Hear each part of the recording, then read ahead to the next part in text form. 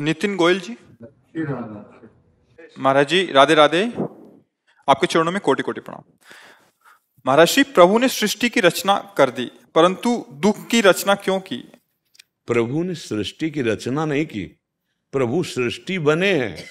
वासना वासुदेव से वासितम भुवनत्रयम। सर्वभूत निवासोस्मी वासुदेव नमोस्तुते भगवान ने अपनी इच्छा प्रकट की वेद कहता एक हम बहुत श्यामा और वही फैल गया जड़ चैतन्य के रूप में। बस तुम्हें दुख इसलिए मिल रहा है कि तुम भूल गए हो। अपने स्वरूप को भूल करके, मानव देह को मैं मान करके, भोगों में विचरण कर रहे हो, मनमानी आचरण कर रहे हो तो प्यारे, खेत में बमूल बो और दाग छुहारा पाओ। कभी ऐसा हुआ है?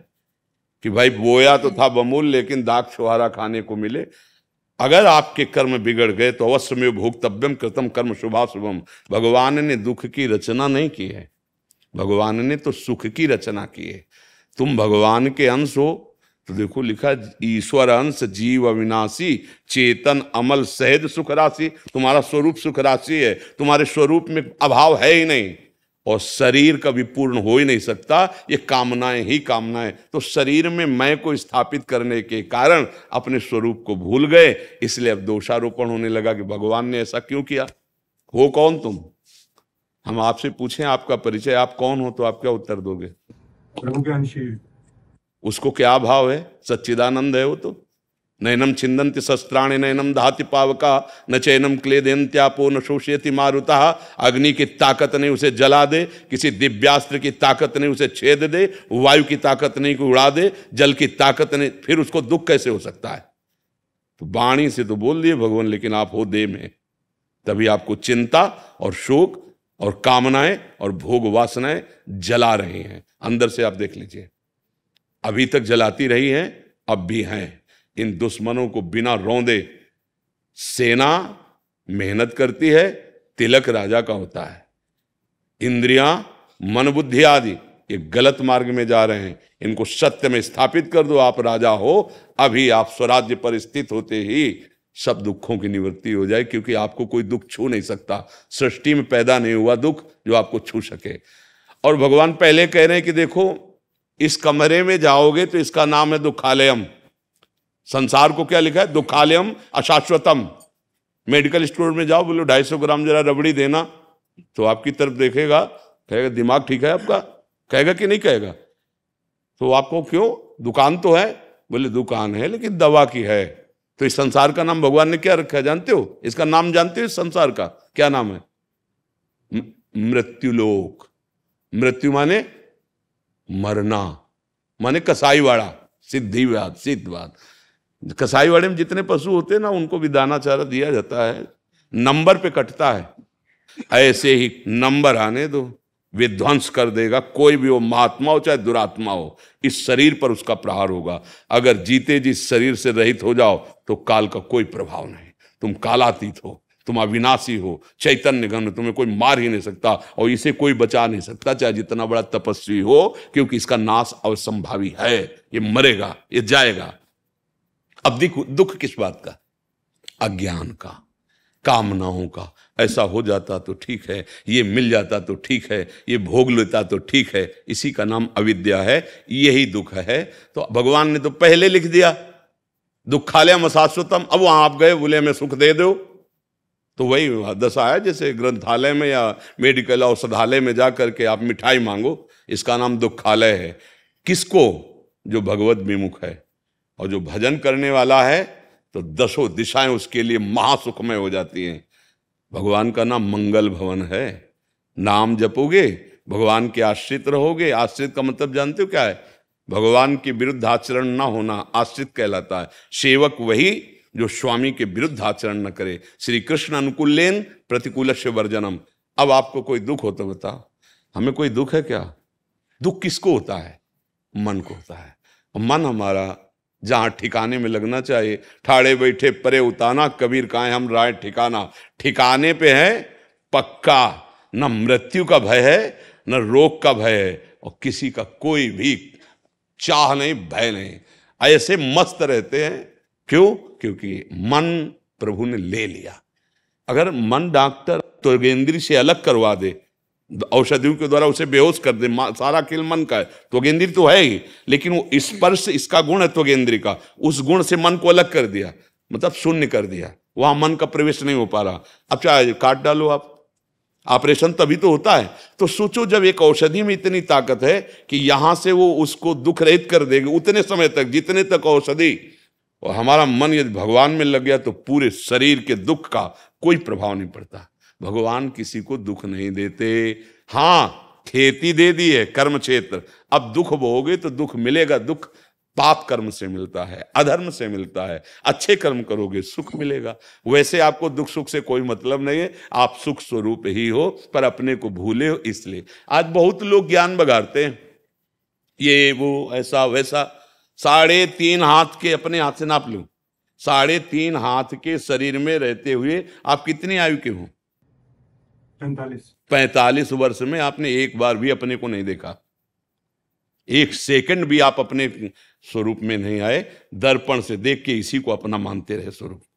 क्योंकि स्वरूप में होने पर नेत्र, दृष्टि, वाणी, चाल, स्थिति, वचन वो होता है, जैसे डॉक्टर होता है ना, पीलिया होती है तो उसको बताने की ज़रूरत नहीं, पीलिया वो नेत्रों से देखता है, जवान देखता है, दवा निश्चित कर देता है। ऐसे ही भगवत प्राप्त महात्मा की दृष्टि से पता चल जाएगा कि हाँ कहाँ स्थिति है। अब तो कितना ज्ञान है, क्या ज्ञान है? बहुत बड़ा मकान होता कि भाई दो चार किलोमीटर में है तो हम आज तक ढूंढ नहीं पाए, साढ़े तीन हाथ का शरीर है। और इसके अंदर आप हैं, और ये आप हैं नहीं, आप कौन हैं? जब इतना ही नहीं, आप अपने को नहीं जान पाए तो क्या ब्रह्म को जानोगे, क्या भगवान को पाओगे, क्या जानोगे? जैसे हो ना, बहुत बुद्धिमान, बहुत शास्त्रवेत्ता। तो हमको केवल इतनी बात बता दो कि शरीर में रहते हुए एक बार भी आप अपने से मिले, अपने को देखा, नहीं, वहाँ देखा लेंगे दर्पण में देखा, इसको माना अपना। बस यही भूल मिटाने के लिए ये अध्यात्म मार्ग है। और जिस दिन अपने को जान जाओगे, उस दिन भगवान को जानना नहीं पड़ेगा। क्योंकि आप भी वही हैं, दूसरे नहीं हैं, पक्का। सौ परसेंट। जीव शब्द इसीलिए कहा गया है कि शरीर से आपने अपनापन कर लिया, अन्यथा आप वही हैं, वही। दूसरे कोई नहीं है। इसीलिए जब जिस महात्मा को बोध होता है तो वही देखता है सर्वम खल मिदम ब्रह्म। भगवान ने गीता में कहा बहु बहुनाम जन्मनावंते ज्ञानवान माम प्रपद्यते, वासुदेवा सर्मित सम महात्मा सुदुर्लभा। जो सर्वत्र वासुदेव का दर्शन करता है, ऐसा महात्मा दुर्लभ है। तो है ना वासुदेव? आप भी तो उसी के अंश का मतलब समझते हो। एक चम्मच लो, गंगा जल तो क्या बोलोगे? इसमें क्या है? गंगा जल तो बोलोगे। एक टैंकर भर लो तो गंगा जल बोलोगे। और गंगा की धारा को तो क्या बोलोगे? गंगा जल तो बोलोगे। तो पूर्णात् पूर्ण मुदच्यते पूर्णस्य पूर्णमादाय पूर्ण मेवा वशिष्यते। उस पूर्ण परमात्मा का अंश भी पूर्ण परमात्मा ही है, दूसरा नहीं। अब बताओ, कौन दुख दे रहा है? किसको दुख दे रहा है? आप दुख को पकड़ करके भोग रहे हैं दुख। नहीं, दुख आपको छू नहीं सकता। आप छोड़ दो दुख। शरीराभिमान छोड़ो, गलत आचरण छोड़ो, अभी नाच पड़ोगे। तो ना दुख दिया जा रहा प्रगट में। मेरा चैत्र पढ़ के देखो और नाच नाच के कह रहे, पायो जी, पायो, मैंने राम रतन धन पायो। वस्तु अमूलक दी मेरे सदगुरु निस दिन बढ़त सवायो। इसलिए सबसे प्रार्थना करते हैं कि ये व्यसन, ये गंदी बातें जो आचरणों में आ रही जिनको तुम सुख के लाभ से कर रहे हो कभी सुख देने वाली नहीं। गृहस्थ धर्म में एक मर्यादा बनाई गई है। जब तक ब्याह ना हो, ब्रह्मचर्य का पालन करते हुए जब पाणी ग्रहण करो तो संयम में हो जाओ। उसी से आप अपने गृहस्थ धर्म रूपी पूजा भगवान की प्रसन्नता के लेकिन यहाँ आप समझ ही नहीं रहे। अब तो ऐसा व्यवहार बदलता चला जा रहा है कि बोलने का मन नहीं करता है। अब बताओ वो कैसे गृहस्थ अच्छे बनेंगे, जिनके चार बॉयफ्रेंड है या जिनके चार गर्ल फ्रेंड है? आज के नए नए बच्चे जो आते हैं, वो सब बताते हैं। अब बताओ कैसे वो एक अच्छे गृहस्थ बनेंगे? कैसे उनमें धर्म मर्यादा रहेगी? एक इंद्री रसेंद्री है। अगर आप इसको होटल के अलग अलग चाट खवा देंगे ना, फिर इसको अपने घर की रोटी दाल अच्छी नहीं लगेगी। ध्यान रखना, ऐसी सब इंद्रियाँ हैं, बहुत चंचल हैं और व्यथन मत करके आपको भोगों में लगा देने वाली है। अब वो हम बाद में कहे कि हमें दुख मिल रहा है, हमें परेशानी हो रही। तो आपने बो दिया। व्यविचारी कभी सुखी नहीं हो सकता, व्यसनी कभी सुखी नहीं हो सकता, मांसाहार करने वाले का हृदय कभी शांत और आनंदित नहीं हो सकता, क्योंकि आत्मबलहीन कभी शांति नहीं प्राप्त कर सकता। माना तुम शरीर को मोटा कितने दिन, काल का एक तमाचा लगेगा, सब बिखर जाओगे। दूसरे हज़ारों पशुओं के मांस खा खा करके तुम अपने शरीर को बलवान बना रहे हो, लेकिन काल के आगे नहीं। बोले एक्सीडेंट हुआ। बोले, वो ऐसे ही फट गए जैसे ककड़ी फट गई क्यों? तुमने वो भूंज गए गाड़ी में पड़े पड़े भूंज भूंज के खाए है ना तो उसी में भूंज देगा काल उसी में। भगवान निर्दय नहीं, तुमने निर्दयता के कार्य किए, वो तुम्हें फल मिला। नहीं तो सच्ची कहते हैं, आपका अपराध ना हो, पाप ना हो। तो आप कहीं से भी निकल जाए, ना कोई सांप डसेगा, ना कोई कांटा लगेगा। और अपराध है तो महल में भी वो आके काट जाएगा। महल में आके आपको दंड दे जाएगा। इसलिए अपराध रहित जीवन ही सुखी जीवन है। हम लोगों ने ऐसे ऐसे अपराध किए, जिनको कोई नहीं जानता और अभी कोई दंड नहीं मिला और कोई प्राश्चित नहीं मिला। वो फल फूल रहे हैं, सामने आएँगे तो आपको परास्त कर देंगे। इसीलिए हम सबसे प्रार्थना करते हैं, सुख के लोभ से पापाचरण मत करो। ये व्यविचार ये व्यसन, ये मांस पाना, ये दूसरों की हिंसा करने का स्वभाव आपका नाश कर देगा। चाहे जितना धन एकत्रित कर लो, तुम कभी सुख और शांति प्राप्त नहीं कर सकते। तो ये दोषारोपण तो कभी मत लगाना कि भगवान ने दुख क्यों रचा। अच्छा भारत सरकार का ये डिपार्टमेंट जो आपके सामने बैठा है, ये तुम्हारा दुश्मन है या मित्र है? आप विचार करके बताओ। मित्र मित्र है क्योंकि जरा सी ज़रूरत होने पर ये अपने प्राणों की परवाह नहीं करते कूद पड़ते हैं। और यही जब हम अधर्माचरण कर देते हैं तो ये शत्रुवत व्यवहार करते हैं। करते कि नहीं करते? ऐसे ही पूरा डिपार्टमेंट भगवान का है संपूर्ण संसार का। सब तुम्हारे हितैषी हैं। आप देखो सही चल करके। वो हर जगह सपोर्ट देने के लिए आपके खड़े हैं। लेकिन आप गलत चलोगे, कानून के खिलाफ चलोगे, तब आपको लगेगा बड़े निर्दयी है, नहीं ना? ऐसे ही भगवान के पार्षद हैं। आप सही ढंग से चलो, देखो आपको कैसे भगवान बचाते हैं। वो आपने बहुत गंदा आचरण किया और कोई जानता नहीं है तो वो जानता है, जो सबकी जानता है, वो जब पीटेगा, तब आपको सबसे यही कहोगे कि हमने गलती नहीं की, लेकिन इस बार गलती नहीं की जिसमें पिट रहे हो, पर वो पीछे वाला हिसाब आया है। अब तुम्हें कोई नहीं बचा सकता। इस सिद्धांत को लोग समझते नहीं और मनमानी आचरण करते हैं। जैसे सूर्य की ताकत नहीं कि अंधेरा कर सके। सूर्य से कहो, तुम्हारी ताकत हो, अंधेरा दिखा दो। तो सूर्य जब तक रहेंगे तो अंधेरा हो ही नहीं सकता। वो अंतर ध्यान हो जाए, तभी बात अंधेरा। ऐसे ही भगवान का नाम है मंगल भवन। भगवान चाहे भी तो अमंगल नहीं कर सकते। जैसे पूतना को भगवान ने मारा आपको दिखाई दिया कि भगवान ने मार दिया। लेकिन वो गति उसको मिली जो बड़े बड़े तपस्वी मुनियों के लिए भी दुर्लभ है। जो यशोदा मैया की गति, वही पूतना की हुई, और आई थी भगवान को मारने। जो भगवान के बड़े बड़े महात्माओं की गति होती, वही भगवान के बाण स्पर्श से जो शरीर छोड़े, परम धाम। मंगल भवन है, अमंगल कर ही नहीं सकते। तो ये बात अगर हम मन में बैठा लेंगे भगवान ने दुख क्यों दिया या दुख की रचना क्यों की तो हमारी आस्तिकता मिट जाएगी। आस्तिकता मिट गई तो फिर जीवन का कोई महत्व नहीं रहा। इसमें कोई संशय आपको? जी। मैरियन। महाराज जी प्रणाम। महाराज जी मैं जर्मनी से आई हूँ। मेरी उम्र सत्तर वर्ष है। मैं कैसे कम समय में अपनी आध्यात्मिक उन्नति कर सकती हूँ? और यदि कोई जाने जाने में अपराध हो गया, उस अपराध बोध से कैसे निपटे? हाँ भाई, हमारी दवा तो हमारे मेडिकल स्टोर में राधा राधा है। समझ रहे हो? हमारे, हमसे जैसे डॉक्टर अलग अलग डॉक्टर स्पेशलिस्ट होते हैं ना। कोई हड्डी के, कोई पेट के, कोई आँख के, कोई कान के। हम भवरोग के हैं। भवरोग जिसके, जिससे आप निवृत्त होना चाहते हैं। और उस रोग की हमारी अस्पताल में वो औषधि मिलती, राधा राधा राधा।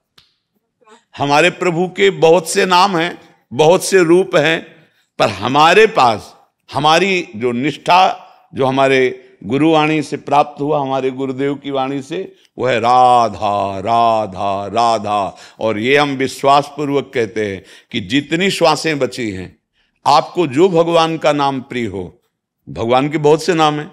ओंकार भी नाम है, राम है, कृष्ण है, हरि है, शिव है, बहुत से नाम है। जो नाम प्रिय हो आपको, आप उस नाम को हर श्वास में जपने का प्रयास करो, भगवान पक्का मिल जाएँगे। नाम ही एक ऐसा है जो तार सकता है।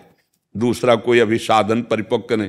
ये पहले की बातें थी, अब तो नाम जप करो, यही तुम्हें मंगल, और गुरु नानक साहब बहुत पहले कह गए नानक नाम जहाज़ है चढ़े सो उतरे।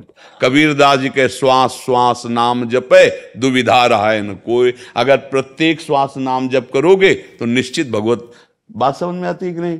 अंग्रेज़ी हम नहीं जानते हिंदी तुम नहीं जानती बोलते चले जा रहे तो पता नहीं समझ में आता है कि नहीं? बाद में बता दूँगा। सुन के? ये आपको बता देंगे। हाँ कुछ शब्दों में सार सार बात बता दीजिएगा। साथ में है कि अच्छा। हाँ साथ में ही है हाँ हाँ फिर आप आप आप बता देना आप बता देना। तो इतने से ही काम हो जाएगा और ये पीछे की चिंता न करे, जो गलतियाँ हो गई हैं तो भगवान कह रहे सर्वधर्मान परित्यज्य मामेकम शरणम ब्रज तो अहम त्वाम सर्व पापेभ्यो मोक्ष श्यामी माँ सुचा यदि तुम सच्चाई से हमारी शरण में सबका सहारा छोड़कर कि प्रभु, अब मैं जान गया कि आपके सिवा मेरा कल्याण करने वाला कोई नहीं है, और भगवान की शरण हो जाओ और नाम जब करो तो भगवान आम त्वाम सर्व पापेभ्यो मोक्ष श्यामी माँ सुचा। मैं तुम्हारे सारे पाप नष्ट कर दूँगा। और नाम संकीर्तनम यसे सर्व पाप प्रणाशनम भगवान का नाम सारे पापों को नाश कर देता है। अच्छा हम अभी बोले, राधा और शरीर छूट गया तो मुझे राधा की प्राप्ति, मुझे भगवान की प्राप्ति होगी, परम रस की प्राप्ति होगी। अंतिम समय जो स्थिति होती है उसी से माना जाता है। अजामिल बहुत पापाचरण करता था, और उसके एक बेटे का नाम नारायण, आखिरी छोटे बेटे का नाम, वो उससे बहुत प्यार करता था। तो मरने का जब समय आया, यमदूत दिखाई दिए तो ज़ोर से चिल्लाया, अपने बच्चे को पुकारा, नारायण, उसी समय भगवान के पार्षद आ गए क्योंकि नारायण के पार्षद नार, अंतिम समय नाम निकला ना, वो परम पद में आरूढ़ हुआ। अब हमें पता नहीं कि हमारी कौन श्वास अंतिम है। तो हमको तो बहुत सावधान रहना है। तो हर श्वास में नाम लेना है। जो नाम प्रिय हो, हर श्वास, पता नहीं कौन सी श्वास अंतिम हो। अगर हम वो हर श्वास में नाम लेंगे तो निश्चित भगवत प्राप्ति हो जाएगी। इसमें कोई संशय नहीं। भगवान के नाम की बड़ी अपार महिमा है। उसी नाम के बल से हम दहाड़ रहे हैं। हम तो अविनाशी के बच्चा हैं, अविनाशी हैं, और शरीर परिवर्तनशील है, आज नहीं तो कल छूटेगा। अब इसके लिए क्या रोना धोना? हम तो प्रभु के हैं। मस्त। ब्रह्मभूता प्रसन्नात्मा न सोचति न कांक्षत। न कोई शोक है, न कोई चिंता है। राधा राधा राधा। मनुष्य जन्म से थोड़ी मिला कीड़ा मकूड़ा की तरह मर जाओ। जो केवल भोगों में ही लगा है तो कीड़े मकूड़ा तो है। अरे भोग तो पक्षी भी करते हैं, उनके भी बच्चे पैदा होते हैं, वो भी बच्चों को खाने के लिए शिकार करके लाते हैं, और वो भी अपने बच्चों को प्राणों से अधिक प्रिय, वो भी सोते हैं, जगते हैं। इतना ही केवल रह गया तो मनुष्य जन्म की महत्ता क्या रही? मनुष्य जन्म की महत्ता है ईश्वर को प्राप्त करना। ये सब करते हुए ईश्वर का भजन, ईश्वर को प्राप्त। देखो बड़े बड़े गुरुजनों के भी तो बच्चे थे।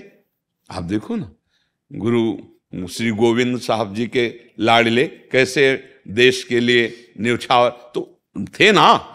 तो ऐसा थोड़ी है कि मतलब भगवान को वही प्राप्त कर सकता है, और जिसने ऐसा ऐसा नहीं है। लड़के हैं, बच्चे हैं, पत्नी है, परिवार है, पर इतनी ऊंचाई में अध्यात्म की हैं। आचार्य हैं, गुरुदेव हैं, सबसे। तो क्या उनके बच्चे नहीं चल सकते ऐसे? हम लोग उन्हीं के तो बच्चे हैं। तो हम भी तो वैसे चल सकते हैं, जैसे हमारे बड़े गए हैं, गुरुजन गए हैं, हम वैसे ही जिए पर हम लोग गलत हो जाते हैं। हमारा मार्ग गलत हो जाता है। हाँ मार्ग गलत होने से फिर सुख की अनुभूति नहीं होती, फिर अच्छी गति नहीं होती। वाहे गुरु जी का खालसा वाहे गुरु जी की। क्या सेवा करें आपकी? आपके दर्शन ही करने के लिए आए थे, जो आपने संसार के ऊपर नाम का प्रताप जो आपने फैलाया वो तो वो वो तो गुरुजनों की कृपा हमारी सा साउंड बढ़िया बोले तो उसकी कोई महिमा नहीं है क्योंकि मशीन बुलवा रही है। तो ऐसे गुरुवाणी गुरुजनों की कृपा यही यहाँ प्रकाशित हम तो बोलने लायक नहीं दोनों किडनी फेल। हमारी सामर्थ्य क्या? पर गुरुजनों की सामर्थ्य गुरुवाणी की सामर्थ्य गुरु कृपा वो ऐसी एक बजे से दिनचर्या चलती, एक बजे रात्रि से। और दो बजे से तो ऐसे जाते हैं, ऐसे। और देखो, अभी कुछ खाना पीना नहीं, और बुलवा रहे हैं। इसीलिए हम सबको बताना चाहते हैं कि सबसे बड़ी ताकत नाम है नाम। अगर नाम चल रहा है तो तुम्हें कोई परास्त नहीं कर सकता। वही हम सबको बताते कि भाई देखो तुम सोचते हो कि हम गंदे आचरण करके, हिंसा करके, शराब पी के सुखी हो जाएँगे, नहीं होगे तुम। तुम सोचते हो हम दूसरे पक्षु, पक्षियों का मांस खा के बलवान हो जाएँगे। भैया नहीं होगे तुम। सच्चा बल है अध्यात्म बल। परमेश्वर का आश्रय, गुरु का आश्रय गुरुवाणी का आश्रय। आप चल के देखो, अगर हृदय शीतल रहता है ना तो हर दुख से लड़ने की सामर्थ्य होती है। मन प्रसन्न है, हृदय शीतल है और बड़े का भरोसा है। भरोसा बड़े का है तो कोई परास्त नहीं कर सकता। और जब हम गंदे आचरणों में उतर जाते तो हमारी अध्यात्म शक्ति क्षीण हो जाती है। फिर देखो, चेहरे देखो, उनके वो विक्षिप्त टेंशन में से दिखाई दे रहे हैं। रुपया तुम्हारे टेंशन नहीं मिटा सकता, कोई पद तुम्हारा टेंशन नहीं मिटा सकता। भरोसा और नाम जब ये दो बहुत ज़ोर की बात है। भरोसा हो अपने साहब का। स्वामी का प्रभु का परमेश्वर का और नाम जब हो बस जीत गए जीत गए। कोई तुम्हें परास्त नहीं कर सकता इतना बल अध्यात्म का जागृत होगा।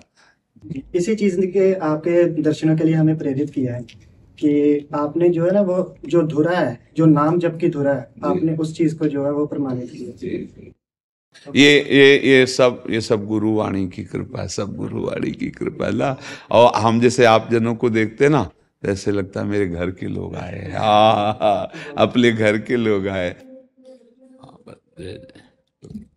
बाबा रामदेव जी के शिष्य हैं।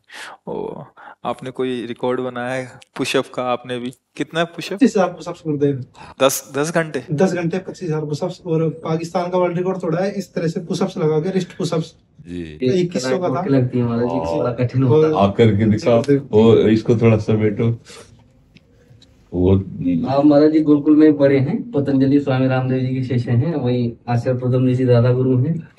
और महाराज जी आप जो अभी हाँ ये उस ये सीधी पुशअप से कठिन है। हाँ ये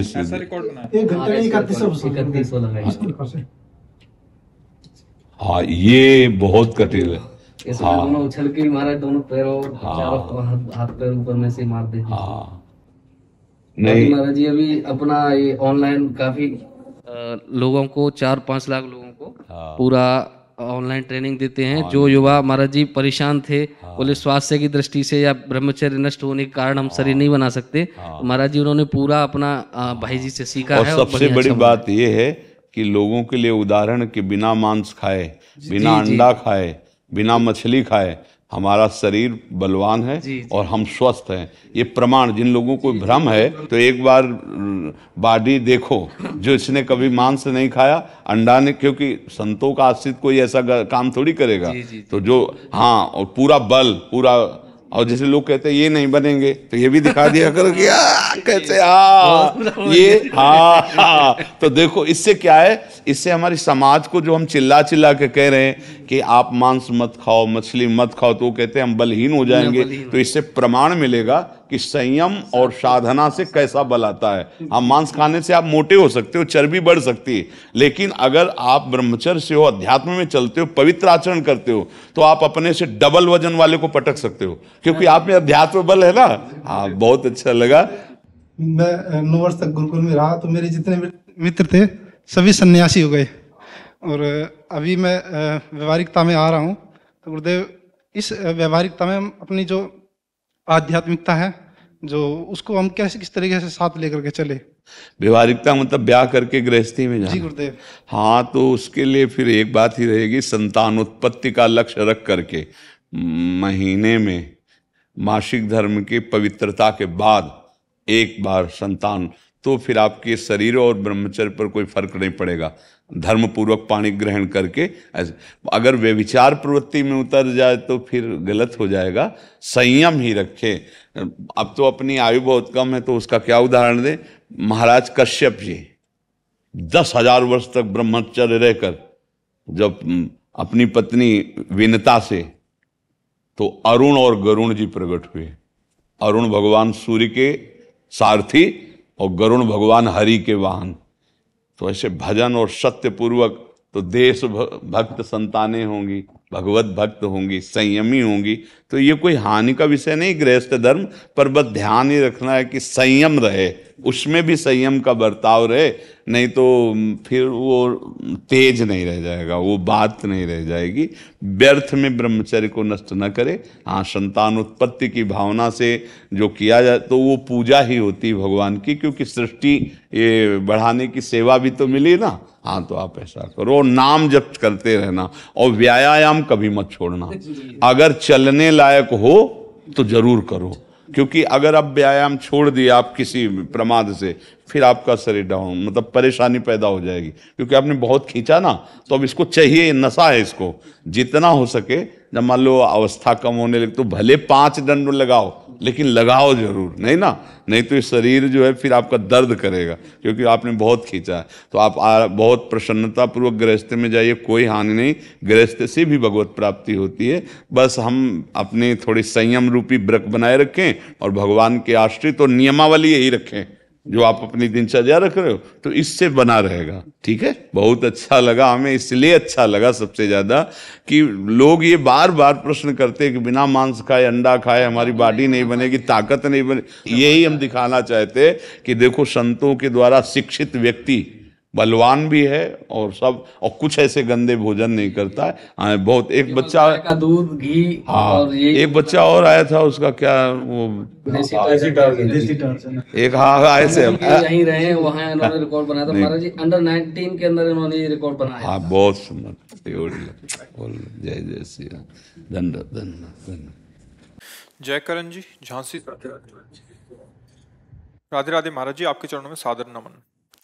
महाराज जी, किसी अपने को खूब प्रेम करें, उसके प्रति समर्पित रहें, और फिर भी वो व्यक्ति हमारे प्रेम समर्पण को ना समझो तो क्या करना चाहिए? बहुत बड़ी कृपा है जो नहीं समझ रहा। बहुत बड़ी कृपा है जो नहीं समझ रहा।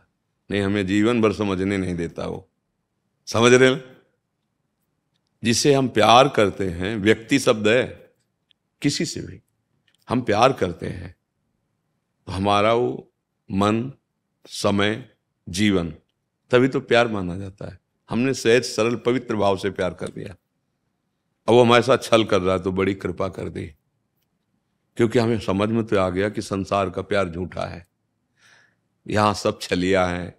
आज ही सत्संग में चर्चा हुई है।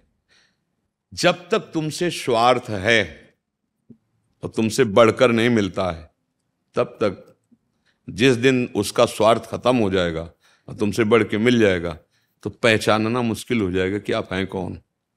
दूसरी बात, जिस दिन आप किसी के काम लायक नहीं रहोगे, भारी विपत्ति में फंस जाओगे, उस दिन कोई साथ देने वाला नहीं मिलेगा। भाई, हम तो ये अच्छा मानते हैं कि संसार में हम तो प्यार करें, लेकिन कोई हमें प्यार ना करे। तो मुझे रास्ता तो मिल जाएगा कि कोई ऐसा एक है जो हमें प्यार कर सकता है, वो भगवान। वो गोविंद, इसीलिए मीरा जी ने बचपन से जो ठाना, मेरे तो गिरधर गोपाल, दूसरों न कोई, जाके सिर मोर मुकुट मेरो पति सोई। मेरा वही प्रीतम है, वही प्यारा। और सही बात, प्यार उसी से सब करते हैं, पर जान नहीं पाते, जैसे मानो। आप किसी शरीर से प्यार करते हैं, उस शरीर से वो भगवान अंतर ध्यान हो जाए जो। अब रख लो शरीर। आप कहोगे, वो तो चला गया। कौन? जानते थे? तो नहीं जान तो बिना जाने प्रीति कैसे हो गई? प्रीति उससे थी क्या? बोले, नहीं तो शरीर से प्रीति थी, वो तुम्हारे सामने पड़ा है। नहीं, वो चला गया। मतलब जाने अनजाने में तुम उसी भगवान से प्यार करते थे। अगर तुम कहीं जानकर प्यार करने लगते भगवान से तो सिद्ध पुरुष जाते तुम कभी रोते नहीं, क्योंकि वो तुम्हारे से कभी अलग नहीं होता है। और ये कभी टिकेगा नहीं।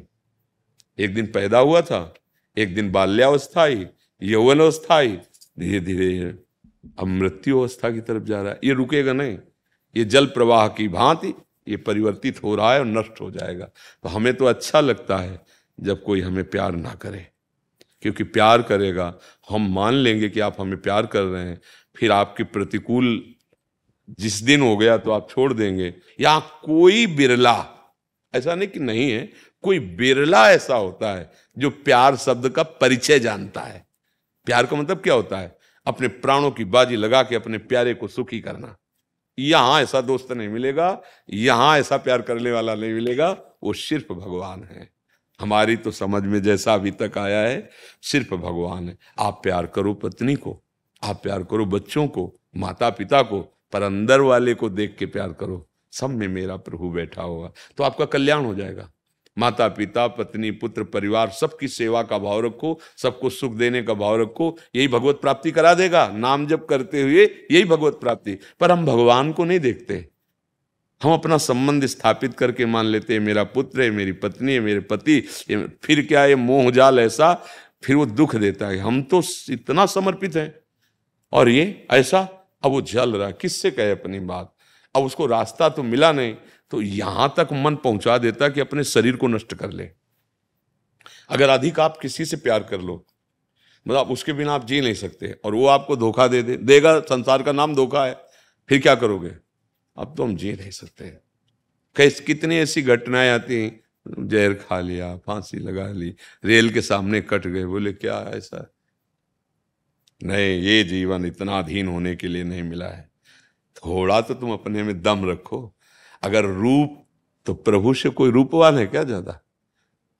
बल, लक्ष्मी, वैभव, पद, इनसे बढ़कर कोई है? एक बार तो प्रभु से कर लो प्यार। बहुत जन्म हो गए अपने प्यार को फैलाते हुए, धोखा खाते। एक बार सच्चे यार से प्यार कर लो। कभी वो जल नहीं होते, ये मत मानना कि भगवान दर्शन दिए कि नहीं, ये सब मज़ाक वाली बातें एक क्षण के लिए भगवान नहीं हटते, एक क्षण के लिए। जैसे दृष्ट अभी आपको बताया, जब सूर्य निकले तो आठ नौ के बीच में आप ऐसे देखना सूर्य को। देखने के बाद फिर आँख मूंदो चाहे खोलो, सूर्य ही नज़र आएगा ना? हाँ एक बार चित्त भगवान में जब समर्पित हो गया तो मन में भगवान, बुद्धि में भगवान, चित्त में भगवान, हृदय में भगवान, नेत्रों में भगवान, बाहर देखो भगवान, अंदर देखो भगवान, जो सोचो वो भगवान। ये स्थिति जागृत हो जाती है। तो हमें तो लगता है, प्यार करो, निषेध नहीं, पर अंदर गोविंद को देखकर, प्रभु को देखकर। पत्नी की आवश्यकता थी, मेरे भगवान पत्नी बन के आ गए, पुत्र रूप में आ गए। अब वो हमें प्यार करे, ना करें। हम अपनी तरह, अपना एकाकी प्यार होना चाहिए। हम आपको प्यार करते हैं, आप हमें दुत्कार दो, हम सह जाएँगे, पर हम आपके सिवा, ये भगवान से भगवान से। हाँ एक सब में एक परमात्मा को फिर जीत जाओगे, संसार को जीत और नहीं तो ऐसे बहुत हालत बुरी होती, क्योंकि हृदय है ना, जब आप किसी भी से अपना हृदय दे बैठते हैं, फिर जीना मुश्किल हो जाता है, पक्का। क्योंकि हृदय बिना दिए आप रह नहीं सकते, ये भी पक्की बात है। इसको आपको देना पड़ेगा। एक उमगन होती है। जब नवकिशोर अवस्था से यौवन अवस्था की तरफ़ पदार्पण होता है तो हृदय में उमगन होती समर्पण करने की, कि हम किसी को अपना जीवन समर्पित कर दें। कोई हमारे जीवन का ऐसा साथी मिले जो आर पार कर दे। पर हम नासवान शरीर को साथी मान लेते इसलिए धोखा हो जाता है। समर्पण की भावना आती है, और वही भावना जैसे बचपन से हरि की कृपा से उन्हीं में लग गई। हाँ वो कट्टर बने मतलब एकदम कठोर। जैसे मान लो हमसे कहे, हम आपको प्यार करते तो हमें जानते हो बिना जाने कैसे प्रीति होगी? बोले, नहीं बाबा जी, ये तो ढांचा है, ये तो ढांचा है हमारा, ये तो जैसे कोट, शर्ट बनियाइन पहनते ना, ऐसे ही ये कोट है। और सूक्ष्म शरीर, ये शर्ट है। और कारण शरीर, ये बनियाइन है। तो क्या कोट, शर्ट बनियाइन आप हो गए क्या? तो आप क्या किससे प्यार करते हैं? आप कपड़े से प्यार कर रहे हैं, मेरे से थोड़ी मेरा प्यार करने वाला तो केवल मेरा हरि है दूसरा नहीं, वो मुझे जानता है और वो अपने को जला दिया है। ये निहाल हो जाओगे? मस्त। एक कर्म, अब तू हमें नहीं गिरा सकता। नहीं, क्योंकि हमने भगवान का आश्रय ले लिया। तो इस शरीर को नष्ट है ये नष्ट होने वाला है। एक ना एक दिन तो नष्ट होगा, चाहे तुम जितनी मकरत ध्वज खा लो, चाहे सोने की भसम खा लो, मरना तो है ही शरीर एक दिन। ये अच्छे बन के। प्रभु के बन के, सबको सुख प्रदान करके। हम परेशान हैं सुख लेने के लिए। तुमसे प्यार किया, हमें प्यार करो। क्यों करे? उसकी मर्ज़ी। तुम और से प्यार करो, हम तुम्हें प्यार करते हैं। ये केवल भक्त बोल सकता है, और कोई नहीं बोल सकता। प्रभु, हम तो नहीं कहते कि हम आपके लायक हैं, लेकिन हम आपके सिवा आप किसी को नहीं। आप, आपके हज़ारों हैं। देखो देखो, आपके हज़ारों प्यार करने वाले हैं। आप हज़ारों से प्यार करेंगे। मैं आपके योग्य नहीं हूँ। पर मेरे लिए आप केवल एक हैं, बस। मैं आपसे प्यार करता हूँ। ये भला संसार में हो सकता है? तुम जिसे प्यार करो दूसरे की तरफ़ देखे, फिर तुम्हारी दशा क्या होगी? होगा, कैसी होगी? और यहाँ क्या भक्त कह रहा है? कि सिर्फ़ हमारे आप हो, हम आपसे प्यार करते आपके लाखों हैं। सारा जगत आपका है। वो आपसे प्यार आपको तो प्यार करने वाले लाखों हैं। लेकिन मेरे प्यार के विषय केवल आप हो। केवल आप हो। और ये केवल भगवान से ही हो सकता, संसार से नहीं हो सकता। और यही प्यार का स्वरूप है। बोलो, कहाँ प्यार है ये? कहाँ प्यार है? हम आपको इतना प्यार करते हैं, आपने हमारी वो बात क्यों नहीं मानी? हम आपको इतना प्यार करते हैं, आप ऐसा कीजिए। आप ऐसा क्यों बोले? ऐसा ये प्यार नहीं है, ये स्वार्थ है, जिसे हम प्यार की लेवल में बोलते हैं।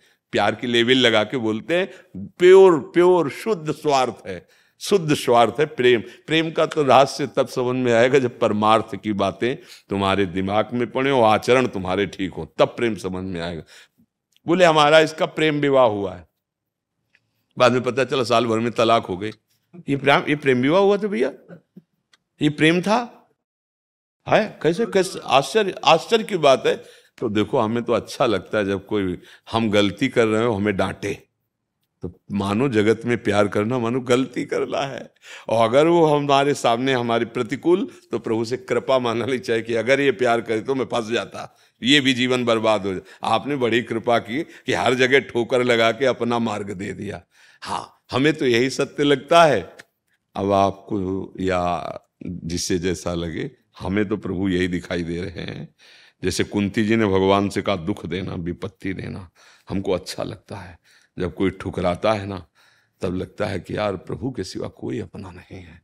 और अपने लोगों को यही माया फंसाए कि कोई अपना है, लेकिन जब आप जाओगे, तब आपको भी रोना पड़ेगा कि कोई हमारे साथ ही नहीं। अकेले जाओगे। दुनिया में लाखों का मेला जुड़ा और हंसा जब जब उड़ा तो अकेला उड़ा। अब अकेला उड़ने वाला मनुष्य शरीर मत रखो, साथ में हरि को रखो। वो दोस्त, आओ कृष्ण, ले चलो हमें अपने साथ। अब जहाँ ले चलोगे वहीं मैं चलूँगा। जहाँ आप जैसे रखोगे, वैसे। एक बार भगवान से तो यार प्रेम करें। बोले, भगवान को देखा नहीं। प्रेम कैसे करें?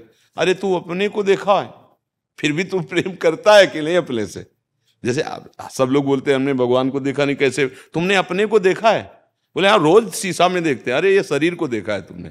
अपने को देखा है। फिर भी तुम बहुत प्राणों से अधिक प्यार करते हो अपने को। तो वो तो प्राणों का प्राण है। मान लो और प्यार करना शुरू कर दो, अनुभव करा देगा वो। नाम जप करो, अच्छे आचरण से चलो और किसी से आशा मत रखो कि ये तुम्हें सुख देगा। अगर कोई तुम्हें प्यार करता है तो है कुछ उसके लायक, जिससे वो तुम्हें प्यार कर रहा है। एक केवल अहेतुकी प्यार करने वाला भगवान है, दूसरा नहीं है।